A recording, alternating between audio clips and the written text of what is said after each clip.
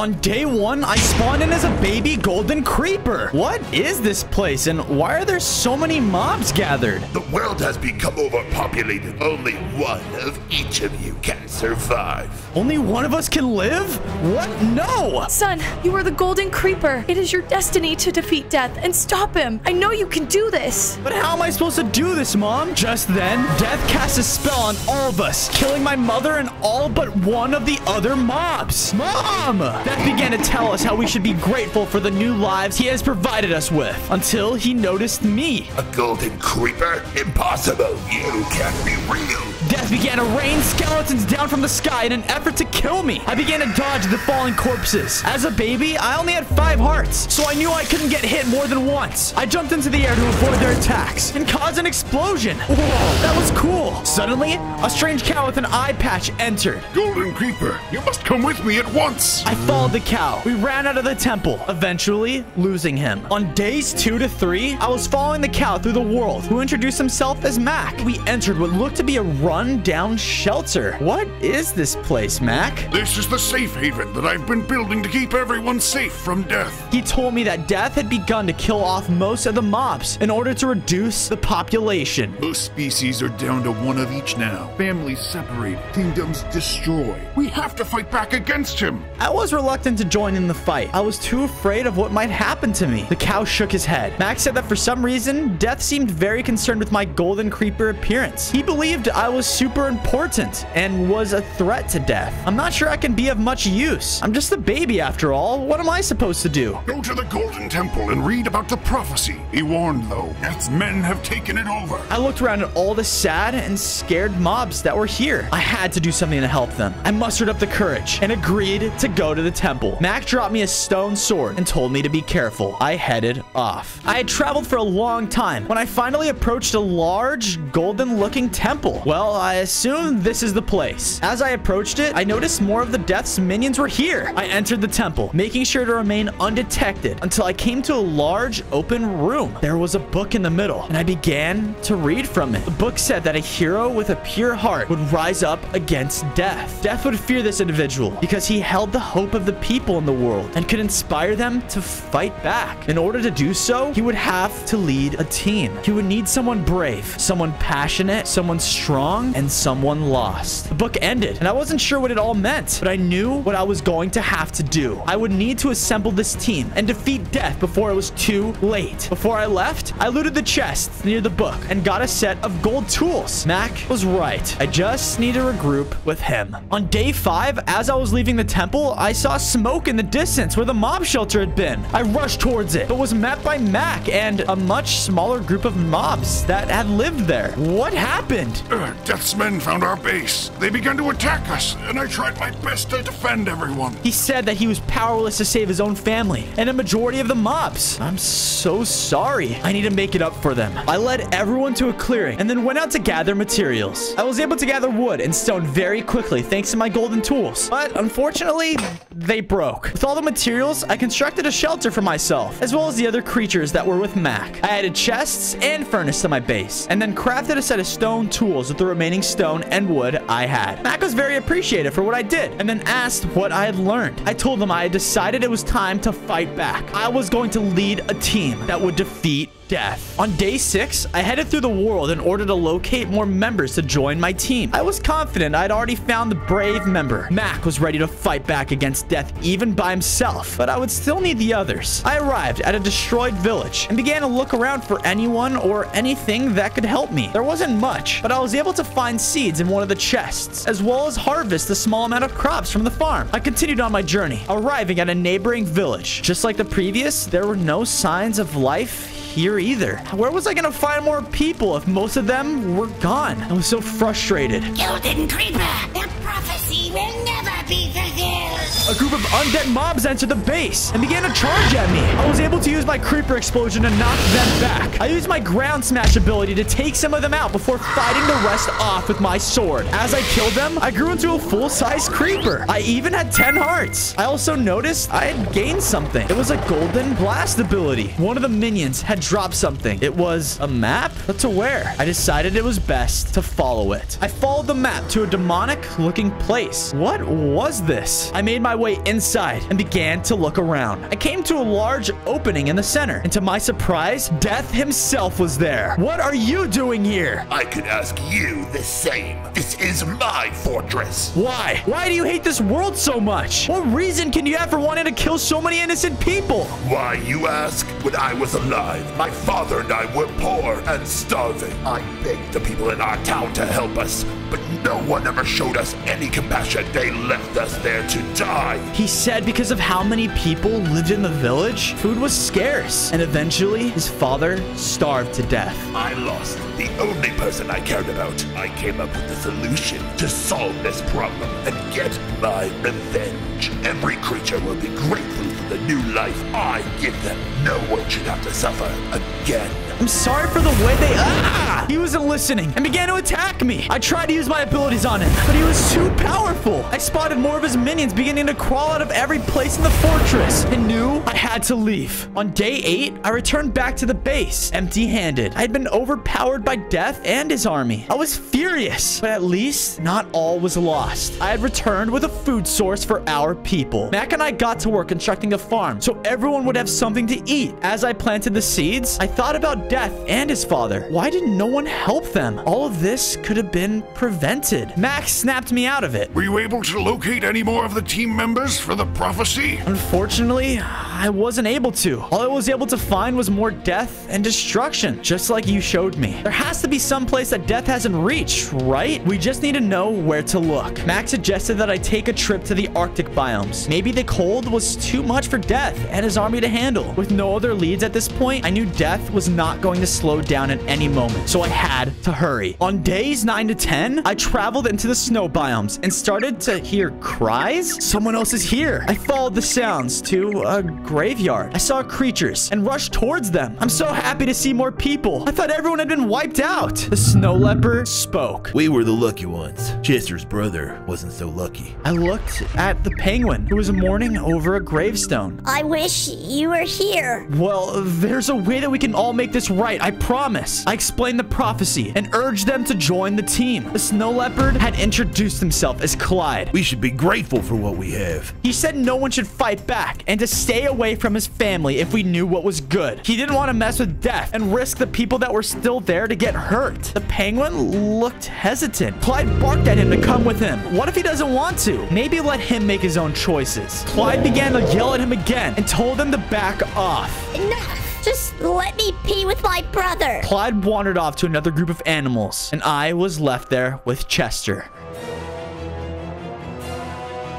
Tell me a way to kill this golden creeper. So the prophecy has been set in motion. There is nothing you can do. Chester and I began to make our way away from the graveyard and towards my base. He was still distraught about the loss of his brother. Cha, I really miss him. He was much braver and stronger than I'll ever be. I tried to encourage him, but he continued to talk about how incredible his brother was. I'm not even sure what to do without him. It all started to make sense. Someone lost. I reassured him that we would make things right. He told me he was excited that someone was fighting back. The penguin told me he wished it upon a star that crash landed in the desert. Wait, what? A star landed in the desert? I told him I had to go investigate it. This had to be important. I gave him the location of my base and we separated. As I traveled towards the desert, I got a strange feeling. Suddenly, death was in front of me, angrier than ever. I tried to apologize for what happened to him and urged him to reconsider what he was doing. This world needs salvation, whether they like it or not. No one should feel the pain I felt. He said I would ruin everything he has worked so hard to create and began to fight with me. I was far too weak to take him on now, so I had no choice but to flee while he chased after me. On days 13 to 14, I managed to escape death again and made my way into the desert, and it was way hotter than anything I'd experienced, but I managed to find a large palace with a light shining from it. I entered it and began to search for anything of use. I found something in the center of one of the rooms. I grabbed it. It was a lost soul? What was this? Suddenly, I started to feel woozy and uh Ready or not, here I come. Whoa, that must have been Mac and his family before death started harming everyone. Everything seemed so peaceful and simple. As I was preparing to leave, I saw something strange moving across the floor. Tentacles shot up from the ground and began to attack me from all sides. I used my ground slam ability to fight them. More started to surround me, so I exploded, blowing up part of the ground around us and defeating them. One dropped something and I picked it up. Whoa, a golden tentacle. I was able to use it as a weapon and pull myself around the world. This is gonna come in handy. I left the temple with the soul and headed towards my base. On days 15 to 16, I entered and saw that there was an igloo there. What was this? I built Chester a home while you were gone. He seems lost about his brother. It was nice to see everyone was starting to get along. I asked Mac about where he lived before death started to attack. He described to me the same village I'd seen and talked about playing with his family constantly. So the vision I had was real. Something had sent the soul there and wanted me to see it. I knew what I was fighting for. I showed Mac the soul and he was not sure what it meant. But after explaining the memory, he knew that it was important. Maybe someone in this world has like an idea of these things, you know? You're probably right. I need to find more information on what these are and why they're here. I told my companions to watch over the base and headed out to explore more. I explored more of the world and hoped to find answers of some of my questions. As I traveled, I found myself once again confronted by Clyde. But this time, he wasn't with his group. What are you doing here? I came to put a stop to you once and for all. He said what I was doing was very dangerous and needed to be stopped before I hurt anyone else. I don't want to fight with you. You know we're on the same side, right? He didn't seem to care and lunged at me with his claws. Ah, it took some of my heart. I had to fight back or risk losing everything I was working for. I exploded and sent him flying back. He was resilient and charged at me again. I begged for him to stop, but he wouldn't. I don't want to defeat him because we would need everyone to fight against death. So I used my tentacle to make a quick escape. Once away, I realized that he had taken me down to only half a heart. Man, I was gonna need some upgrades to complete this mission. I headed towards a nearby cave. On days 19 to 20, I looked through the cave to find iron. I spent a good amount of time mining. It was worth it because I had enough to craft myself an iron set of tools and armor as well. I was feeling far more confident with myself thanks to my upgrades, but I was still puzzled. I was gonna have to find someone passionate and someone strong for my team. Clyde seemed to fit both of these, but he would never listen. As I went to leave, I spotted some gold, so I decided to mine it. As I collected it, I had another vision. I was in front of a strange looking outpost. I spotted a man fighting against the undead. You will never take this world, you monster! This must be one of my team members. He needs my help. I have to get there quickly. I headed off to the forest. I was wandering through it, looking for something that resembled what I'd seen in my vision. There it was. I quickly ran inside and called out for the hero that I saw. Where are you? Who's there? Ah, something to fight. A pillager? What? An arrow flew past me. Hey, hey, stop! He shot more arrows at me, and I quickly overpowered him thanks to my new upgrades. What is wrong with you? All my friends are gone, and I haven't had anything to fight in a long time. He introduced himself as Hank and told me that he missed players and villagers and had a strong passion for raiding and fighting. Passion for fighting the good. I guess in a world with slim pickings, this guy will have to do. I told him about my quest and why I would need him. The pillager was reluctant to join me, but decided it was better than being alone. I started to ask him about players, and he told me of a community that players used to gather at. I have to go there and see if I can find more answers for my quest. I sent him to base and headed out. On days 24 to 26, I was heading towards the player community I'd been told about. I spotted a massive horde of undead monsters that were searching for me. I could hear them calling out for the golden creeper. Oh man, I have to be careful. I can't be spotted. There was no way I'd be able to take all of them on at once. I did my best to sneak past them. I thought I was in the clear, so I tried to make a break for it, but... The Golden Creeper! The group spotted me and began to charge. I used my new tentacle and was able to take some of them down, but more and more were charging at me. Uh, I have to get out of here now. I used my ability to quickly make an escape. Sir, the Golden Creeper is growing stronger. He has left me no choice. I will kill every mob in this world and create new ones, grateful for the life I have given them. On days 27 to 29, I made my way into the player community. Most of the buildings looked like they had been attacked. A player jumped out from one of the buildings and began to attack me. Ah, no! He stopped and looked at me. He apologized for attacking, believing I was another undead monster. He led me to his house to talk. Inside, he introduced himself as Steve. Wait, you're Steve? You look so different. He told me that he had been in this world for a long time. I showed him the soul and told him about the prophecy. He seemed intrigued by all of it. From what you are saying, it appears as though these are the souls of creatures killed from death. Because death took them before their time, their souls remained on Earth. Combining them might be able to unleash all the souls back into the world. The prophecy seems to be missing something. Your team will need more to take on death. Steve told me that each of them would need to possess a weapon that was close to who they were in order to take death down. I asked him if he knew where I could find more of the souls, and he suggested I check here before dropping me a map. He said he would do his best to locate more of them for me, and then we parted ways. I made my way back towards base, but I spotted Death perched upon a large mountaintop. I confronted him and told him that everything he had done would never last as I would fulfill the prophecy. I have a solution for that. He said in order to stop me, he would just wipe out all life on Earth instead and create new creatures. The new inhabitants will know nothing of the time before and be grateful for life. You're a monster! I will never let you get away with this! Death told me he was done talking and summoned creatures to fight me. I fought back against them and was able to take them down. You're next. I started a fight with Death. I could tell I was starting to hurt him, but I would never last in this fight. I left as more undead started to rush towards me. Death laughed and said, You cannot kill death.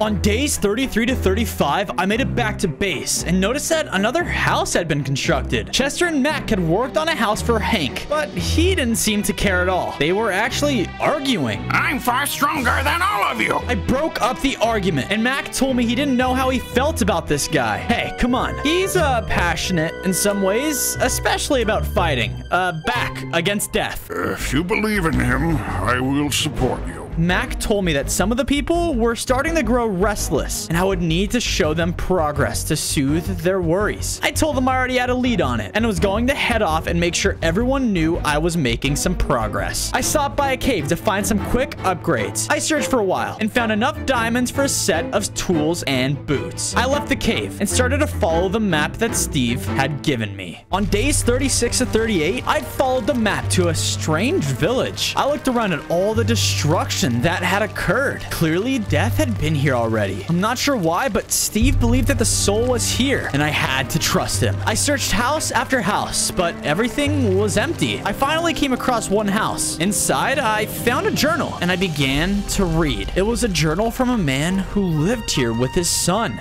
We have run out of food, and it seems that no one has enough to share with us. The only thing I care about in this world is my son, Thomas. Despite his resentment for them, I still know there is good inside of him. I suddenly realized the journal was from Death's father. The book began to shake, and another one of the lost souls appeared on the ground. With the soul, I turned to leave, but decided to take the journal as well. Maybe reading this could change Death's outlook. On days 39 to 41, I started to make my way back toward my base when I heard a commotion in the distance. I decided to investigate it and saw Clyde with his family, and they were fighting with a large bear. Me hungry. Want food. The snow leopard told them to stay away from them and refused to share. The bear was easily handling Clyde, but I jumped in anyway. I broke up the fight and once again tried to make Clyde realize we were all in this together. I began to explain the souls and the mission I was on, but he cut me off before I could finish. Stop meddling with death. You'll ruin everything for all of us. Clyde stormed off to his small group, and the bear thanked me for helping him. Uh, no problem. He was so easily able to overpower Clyde. His strength is unmatched. I offered him a spot on the team and told him I would share all the food I had with him if he accepted.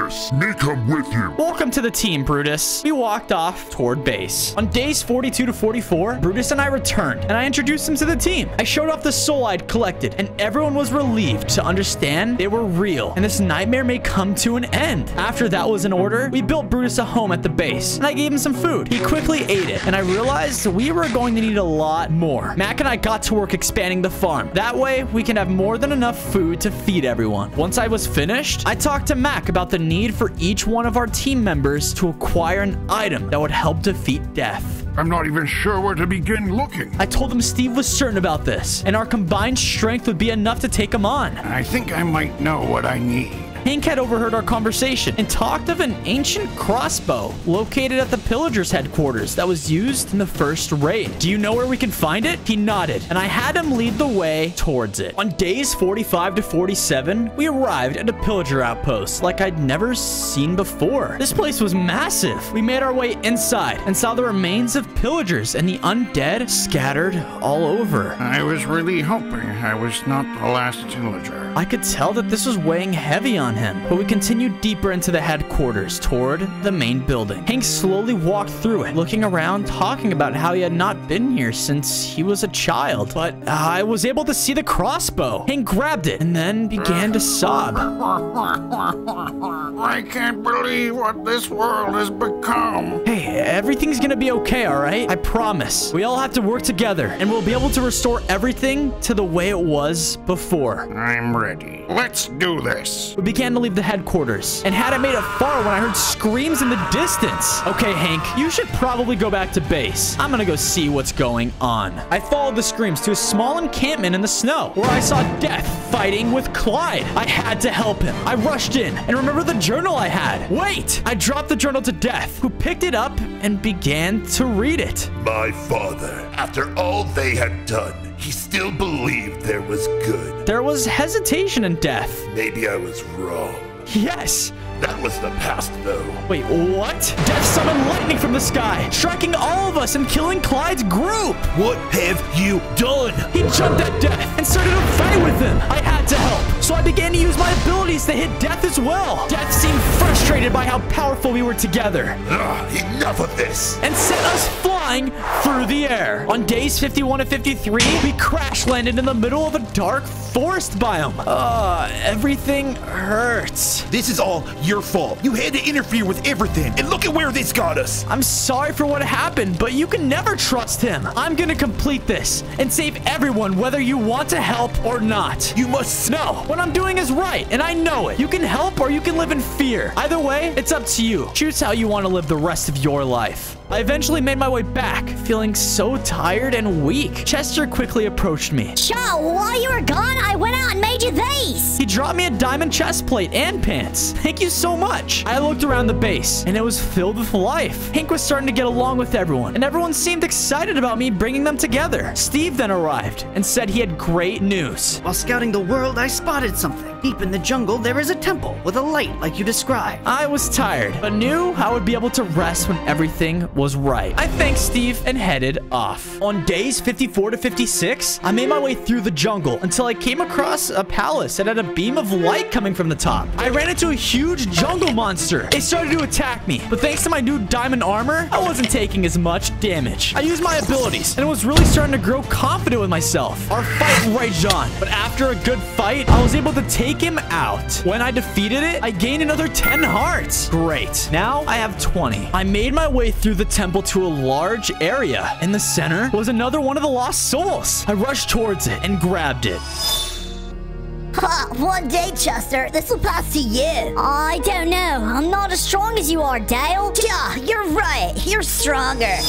Another vision. I know what Chester needs. With the soul, I headed back toward base. On days 57 to 59, I made it back and decided it was best to stash away the souls for safekeeping. I told Mac that I had found the soul and we were close to completing the prophecy. He asked me what was next. I turned to Chester and told him it was time for him to get his item. It's your brother's ice staff. Wait, what? How do you know about that? I'm not worthy to hold it. You have to be. There's no time for us to waste. We have to leave right now. Chester told me he was far too afraid to go with me. Listen, we are all afraid of the unknown, but this is a time for you to find yourself. You're braver than you think. Your brother believed that, and so do I. Our team got together and encouraged our penguin friend that he was gonna be okay. All right, let's get. The two of us walked out of the base and headed for the ice temple. How could I have been so foolish? On day 60 to 62, we arrived at the Ice Temple, and I can tell it was weighing heavily on Chester. He remained silent. As we entered the large hall, Chester stopped for a moment. I've not been here since Dale was killed. It's almost over, buddy, okay? You just need to... I knew I would find you here. Death emerged from the shadows and began to attack us. Chester, get the staff and get out of here. We started a fight, and I bought enough time for Chester to acquire the staff and make a run for it. I was starting to be overwhelmed by the onslaught of attacks, but I heard something behind me. It was Clyde, and he joined in the fight. He apologized for the way he acted and wanted to make things right. Together, we were once again fighting Death, but this time on the same side. Death was starting to feel our attacks when he said, I am tired of the two of you. He struck Clyde, and I can tell that he was badly injured. Death flew off and left us there. I have to get you back to base. Maybe we could heal you there. I was rushing Clyde back to base in the hopes that we could possibly heal him when he stopped me. I'm sorry for not realizing sooner. I see Chester deserved far better than the way I treated him. You did nothing wrong, okay? You were just trying to protect the people that you cared about. I was blinded by my own fear of losing the people I cared about. He said that he knew everything was going to be okay as long as I survived and continued on my mission. There's one more thing I need to tell you. I think I know where the final souls are. Clyde began to describe a large village he had passed by while traveling to my base. He said he saw a light coming from the center building. What he was describing was Mac's home village. I knew exactly what that place was. Good luck, Fozo. He then passed away. I will finish this for you and everyone else. Death will never win. I built him a small grave site before heading off to find the soul. On day 66 to 68, I made my way towards Mac's home village. I had been here in a vision, but things felt different. As I walked the streets, I got another vision of the time before death and how his village used to be filled with life. I was overcome with sadness. How could death become what he is now? I got even more sad to think about what he had done to this world. Hopefully, I'll be able to restore everything back to the way it was. I spotted the light coming from a large building and headed towards it. I entered what appeared to be a throne room. The soul was sitting on the top of the throne, and I quickly grabbed it, giving me another vision. I saw villagers planting strange-looking seeds in the farm before harvesting what appeared to be an enchanted wheat. I searched the chest in the room and found some of the seeds. I bet this is what Mac will need to find. With everything I had, I headed back towards base. You are coming with. On days 69 to 71, I returned to base, but nothing was right. It was in total ruins. What happened? Uh, Fozo! Death attacked and we were too weak to fight him! I rushed into my home, and luckily the other souls hadn't been taken. Seems like death hasn't caught on to what I've been doing. I gathered the group and noticed that someone was missing. Where's Mac? He was taken. Oh no, we have to go after him. The group didn't agree with me. They thought that they would die, and the prophecy wouldn't be fulfilled. Man, I need to change their minds. But we couldn't leave the base in this condition. All of us got together and began to rebuild the houses from the damages. Listen, guys, we need Mac to complete the prophecy. I have to rescue him. The group looked around, still very worried about the mission I was about to go on. I will protect him. Steve volunteered to come with me and make sure I returned safely. It was settled then. I handed them the seeds I'd retrieved and told them to plant them. Steve and I then headed off. On days 72 to 74, Steve and I made it to Death's base. Together, we started to discuss a plan of how to save Mac. Steve said he would go and scout above and remain hidden. It was better that he believed I came alone. I agreed with him, and we split up. I entered Death's lair and spotted him standing in front of Mac inside of a prison cage. I am here for my friend. Give him to me. I will make you a deal. I will free your friend and not harm anyone else in this world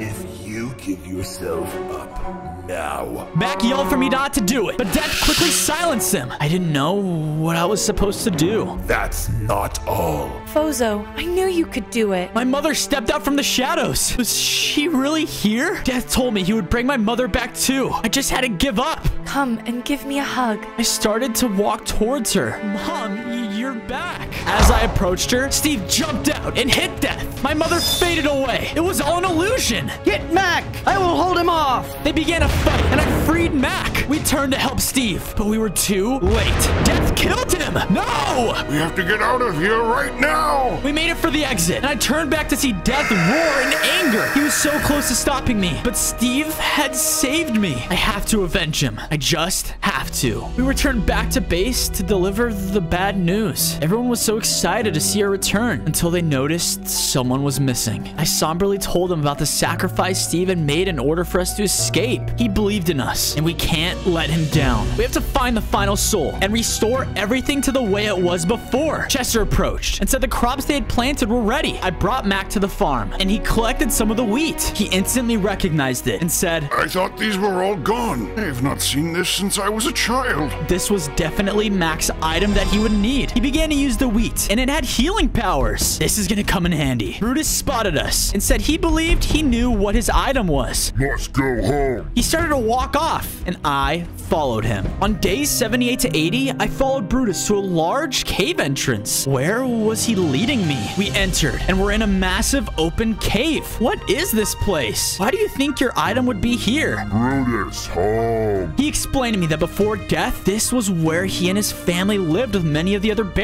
Brutus hadn't returned since death had taken everyone out. He led me to a spot in the cave, and there was a claw of some sorts. Leaders wear ceremonial claw. I can tell this was very difficult for him, and he was having trouble grabbing the item. You can do this. Everything is gonna be okay. Brutus grabbed the claw and equipped it. In a golden flash of light, I was transported to some undead-looking temple. It was guarded by Death's massive army. I could see a beam of light coming from the top and knew that this was where I would find the final soul.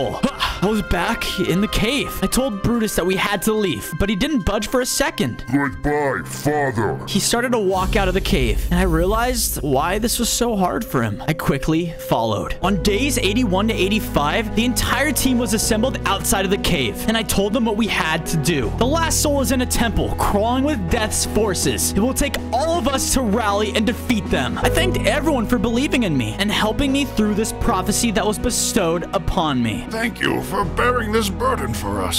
Shot, you really have been an inspiration for all of us. You gave us all something to fight for when we seemed lost. Fozo, hero. With everyone behind me, we headed to the temple. As we arrived, there seemed to be no signs of Death's army anywhere. Suddenly, they emerged from everywhere and started to attack our group. We started to fight back against all of them, but more and more started to come. Mac told me to go inside and get the soul. We can hold them off. I rushed inside the temple to locate it. Inside the temple, more undead mobs continue to pop out of the corners and attack me, but I was far more powerful than they were at this point. Do not let him complete the prophecy! When will you guys give up? I was able to take each and every one of them down with ease. I continued to look around for the soul. Eventually, I spotted it. I then reached for the soul. We just need to get these back to base so I can combine them with the others. Then I can bring everyone back, even my mom. I rushed out of the temple and regrouped with my team members. Come on, guys. We need to get back to base fast. Everyone followed me back towards base. On days 91 and 94, we arrived and I gathered all the souls together. I waited, but nothing seemed to happen. Wait, was this all for nothing? I just want my mother and friends back. The ground then began to shake, and all the souls formed into a soul stone. It began to emit rays of light and energy in all directions. There was a massive flash of light, and then silence